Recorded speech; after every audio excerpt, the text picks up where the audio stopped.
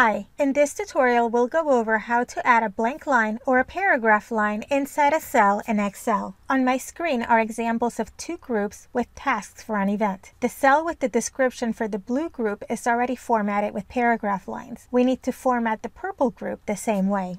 To do this, place your cursor inside the cell. You can do this by pressing F2 or by double clicking in your cell. Then position your cursor at the location where you'd like to add your line. Once you have your cursor positioned, press Alt Enter to add a line. Then press Enter.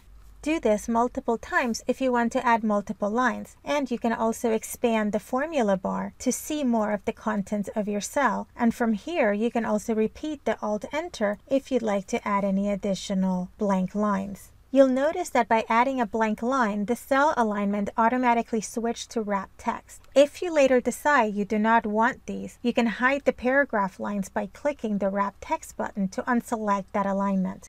But even though we unselected the wrap text alignment to hide our blank paragraph lines, notice in the formula bar that those lines are still in the cell. So you can use the wrap text button to toggle back and forth the look of your cell. And that's it. I hope you found this tutorial helpful to learn how to add a blank paragraph line in a cell in Excel. If you enjoyed it, please make sure to give it a like and don't forget to subscribe to this channel. Thanks.